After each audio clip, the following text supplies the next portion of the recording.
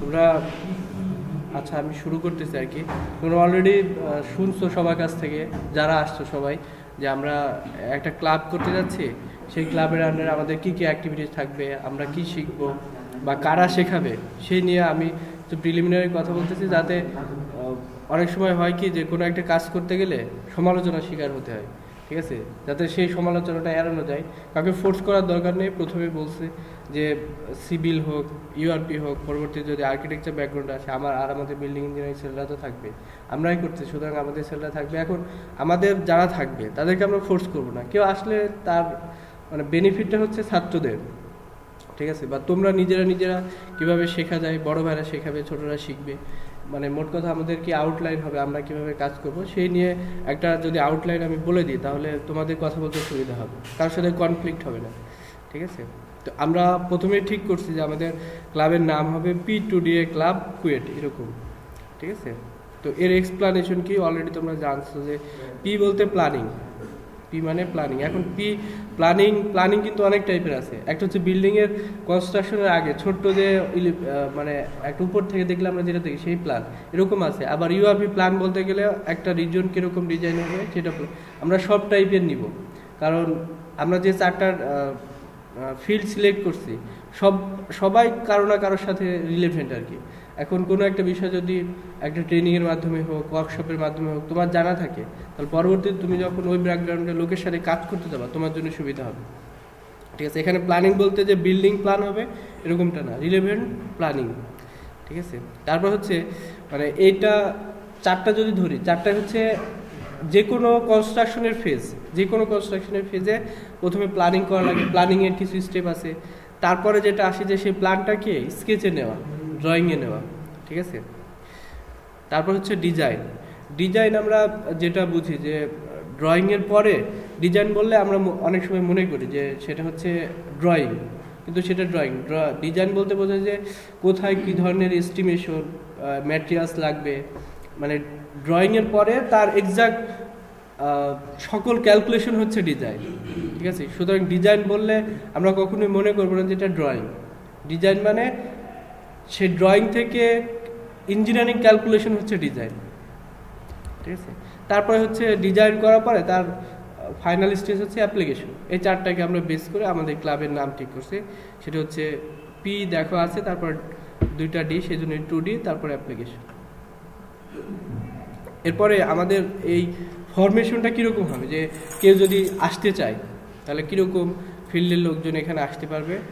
Teachers oblique professional in the field of civil engineering building engineering and construction management URP and architect teachers আমরা তো teacher বুঝতেই পারছি। Professional বলতে এই ফিল্ডের অনেক সময় দেখা যায় কি ভালো লোকজনের সাথে আমাদের হোক বা যে কোনো লেভেলে কন্ট্যাক্ট হলো, তার প্র্যাকটিক্যাল এক্সপিরিয়েন্স আছে।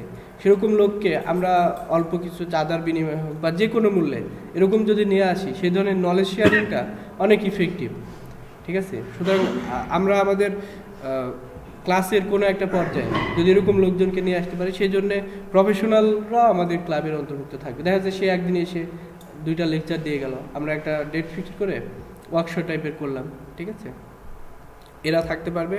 আরেকটা হচ্ছে students of the relevant field এই ফিল্ডের সকল স্টুডেন্টরা তবে স্বেচ্ছায় আসতে হবে। তাকে ফোর্স করে আনা হবে না। তারপর হচ্ছে অনেক সময় যদি কখনো বড় কোনো কিছু সুযোগ থাকে, দেখা যাচ্ছে আমাদের কুয়েটে এই আমাদের রিলেভেন্ট ফিল্ডের কোনো একজন বাইরের লোক আসলো, তাকে আমরা এক এক ঘণ্টার জন্য ইনভাইট করলাম। সে যদি আমাদের কোনো কথা বলে, কারণ বাইরের দেশের এক্সপিরিয়েন্সটা তারা মডার্ন টেকনোলজি সম্পর্কে অ্যাডভান্স থাকে, তারাও আমাদের এই ক্লাবের সাথে রিলেভেন্ট মানে অন্তর্ভুক্ত থাকবে আর কি। এরপর দেখো যে আমাদের কি অবজেক্টিভস থাকবে? এই ক্লাবের আমাদের অবজেক্টিভস থাকবে ফার্স্ট হচ্ছে যে, এখানে কোনো থিওরিটিক্যাল কোনো কথাবার্তা আমরা নিয়ে আসব না। যে ঘণ্টার পর ঘণ্টা একজন বলে যাচ্ছে তারপরে আমরা শুনতেছি, এরকম না। টেকনিক্যাল নলেজ মানে হাতে কলমে শেখার যে বিষয়গুলো, সেইগুলো। যদি আমরা এক ঘণ্টার একটা ক্লাস হয়, ধরো দুইটা ওয়ার্ড টাইপ করা শিখলাম, এটাও হতে পারে যে তুমি টাইপিং করা শিখতেছো, এটাই আমার দরকার। কিন্তু কীভাবে শেখা হয়, এরকম কোনো কিছু না। একেবারে টেকনিক্যাল নলেজে যাব। এখন নলেজটাকে মানে শেয়ারিংয়ের বিষয়টা থাকবে যে যে কেউ, দেখা যাচ্ছে তোমাদের ব্যাচমেটরাই তার পার্সোনাল ইন্টারেস্টে একটু বেশি জানে। কোনো একটা বিষয়ের উপর। সে এসে কথা বলার সুযোগ পাবে এখানে। এখানে ফিক্স নেই যে টিচারই এসে কথা বলবে, আমরা শুনব এরকম না। তারপরে বড় এই ফিল্ডের যা তোমাদের যদি সিনিয়র ভাই, অন্যান্য সিভিলের বা ইউআরপির যেরকম একটা সফটওয়্যারের নাম বলি জিআইএস এর নাম শুনছো মনে হয়? জিআইএস জিওগ্রাফিক ইনফরমেশন সিস্টেম এই সফটওয়্যারটা এমন একটা সফটওয়্যার মানে সবার ক্ষেত্রে কাজে লাগে। কিছু কিছু ফিল্ডে বেশি লাগে, যেরকম ইআরপি ওয়ালাদের একটু বেশি লাগবে এটা হচ্ছে রেজাল্ট কী বলে, কোনো একটা রেজাল্ট যদি খুব সুন্দরভাবে শো করতে চায় গ্রাফিক্যাল রিপ্রেজেন্টেশন করে। ধরো, একটা পপুলেশন ডেন্সিটি দেখালাম এই কুয়েটের বা দেখা যাচ্ছে আর্থকুয়েক ভার্নারেবিলিটি দেখালাম, যে এই বিল্ডিংটা একটু বেশি ভার্নারেবল আর একটা কম। এটা যদি লেখো, তাহলে টোটাল কুয়েটটা লিখতে গেলে দশ পেজ চলে যাবে। কিন্তু টোটাল কুয়েট তোমার একটা পেজের মধ্যে দেখানো সম্ভব গ্রাফিক্যাল রিপ্রেজেন্টেশন সেটা হচ্ছে জিআইএস এই সফটওয়্যারটা সবার ক্ষেত্রে, তো আমরা শিখব হচ্ছে এরকম কোনো কিছু, যেটা আমার সবার জন্য কাজে লাগে। এখন শিখব কার কাছ থেকে? একটা হচ্ছে সিভিল, তারপরে বিল্ডিং ইঞ্জিনিয়ারিং ইউআরপি আর আর্কিটেক্ট এই ফিল্ডের টেকনিক্যাল নলেজগুলো আমরা শিখব আর কি। তারপর দেখো, শেখার সাথে সাথে টেকনোলজি সবসময় চেঞ্জ হয়।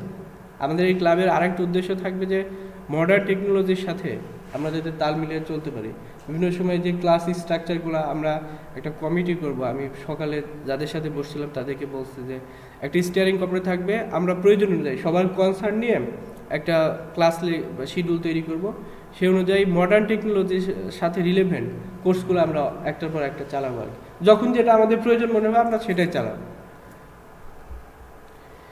এরপরে দেখো যে create network for the same community এটা মানে সারা পৃথিবীতে এখন এরকম এরকমটাই চলতেছে। এমন যদি হয় যে, ধরো দুইজন লোক নিবে কোনো এক জায়গায় অ্যাপয়েন্টমেন্টে তোমার বড় ভাই আছে বা তোমার ফ্রেন্ড আছে, এমনও হয়। তো তোমার যদি তার সাথে পরিচয় না থাকে, দুইজন তুমি আসো ক্যান্ডিডেট তোমার ক্রাইটেরিয়াও সেম আর একজন আছে তার ক্রাইটেরিয়াও সেম মানে তোমার একাডেমিক কোয়ালিফিকেশন বলো এক্সট্রা আদার্স যে কোয়ালিফিকেশন সব কিছুই সেম কিন্তু যে পরিচয়, যার সাথে পরিচয় থাকে, তাকে আগে থেকে টেনে নিবে। এটা স্বাভাবিক, এটা বাংলাদেশেও হয়, বাইরের দেশেও হয়। অস্ট্রেলিয়াতে মানে লিঙ্ক ছাড়া কোনো জবই হয় না। লিঙ্ক থাকলে তোমার কোয়ালিফিকেশন একটু কম থাকলেও জব পেয়ে যাবে।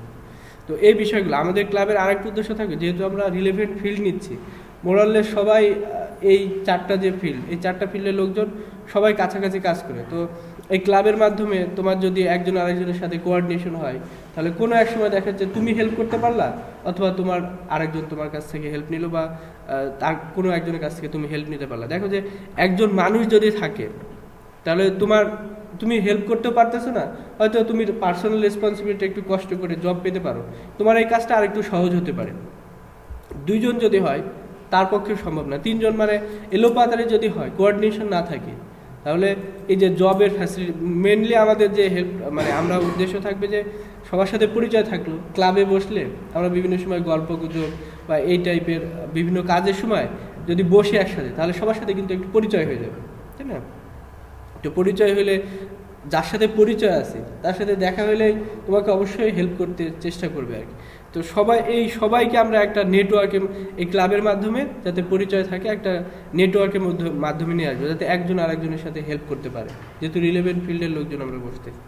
এটা থাকবে আমাদের মানে একটা হচ্ছে যে টেকনিক্যাল নলেজ তো শিখবই। থার্ড আমরা এই নেটওয়ার্কটা যেন বিল্ড আপ হয় নিজেদের মধ্যে, সেটার জন্য চেষ্টা করা হবে আর কি। তারপরে ক্লাবের আমরা অলরেডি কিছু রুলস রেগুলেশন ঠিক করছি, যেটা তোমাকে তৈরি করতে দিয়েছিলাম, তুমি হয়তো বলব আর কি। সেই রুলস রেগুলেশন আমরা চেষ্টা করব, কারণ এটা কখনোই ওয়ার্কিং আওয়ারে করা যাবে না, ঠিক আছে? করতে গেলে বিভিন্ন ধরনের সমালোচনা হতে পারে। ওয়ার্কিং আওয়ারে করা যাবে না, তারপরে কেউ যদি কোনো কথাবার্তা বলে, সেই কথাবার্তাকে যত পারা যায় অ্যাভয়েড করা। কারণ কনফ্লিক্ট করলে তুমি এটা চালাতে পারব না। আমরা ভার্সিটি রিসোর্স ইউজ করি, এই ক্লাসরুমটাও অফ টাইমে ভার্সিটি রিসোর্স হয়ে যায়। তখন তোমাদেরও থাকে না, আমার নিজেরও থাকে না, ঠিক আছে? সব কিছুই তো রুলস রেগুলেশন যথাসম্ভব চেষ্টা করব আর কি। যেহেতু আমরা কাউকে ফোর্স করে নিয়ে আসতেছি না বা এর মাধ্যমে কারোর কাছ থেকে চাঁদাও নিচ্ছি না। সুতরাং রুলস রেগুলেশন যথাসম্ভব পালন করা আর কি। না আসলে তুমি না আসলা।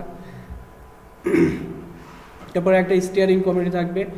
এখন সব কিছুর জন্যে ধরো সবাই, সবার উপরে যদি দায়িত্ব থাকে, তাহলে আলটিমেটলি সেই কাজ মানে কোনোটাই আগাবে না। এই জন্যে হয়তো দশজন এই বছর থাকল বা কারও যদি আগ্রহ থাকে তাহলে সেও অন্তর্ভুক্ত থাকল। পাবলিশিং হোক ক্লাস কীভাবে হবে, কোথায় হবে, কখন হবে, এই বিষয়গুলো জানানোর জন্য অ্যাটলিস্ট দশজন লোক দরকার। এখন এত কেউ কেউ মনে করতে পারে যে ওই দশজনই লিড করতে সেরকম না। আমাদের উদ্দেশ্য হচ্ছে শেখা। এখন সেই শেখাটাকে আশপাশের লোকজনের সাথে পাবলিশিং বলো, তারপরে ক্লাস শিডিউল তারপর ক্লাসরুম টাইম জানানো, কে ক্লাস নেবে, এই বিষয়গুলো ঠিক করার জন্য অবশ্যই কিছু লোকজন থাকবে যারা মানে মডারেট করবে আর কি। সেরকম একটা স্টিয়ারিং কমিটি থাকবে। আমরা চেষ্টা করব আর কি সেই কমিটির কার্যক্রম ফলো করার জন্য। তারপরে আমাদের ক্লাবের যে কাজগুলো হবে, একটা হচ্ছে ক্লাস থাকবে। অবশ্যই টেকনিক্যাল ক্লাস হাতে কলমে শেখার জন্য।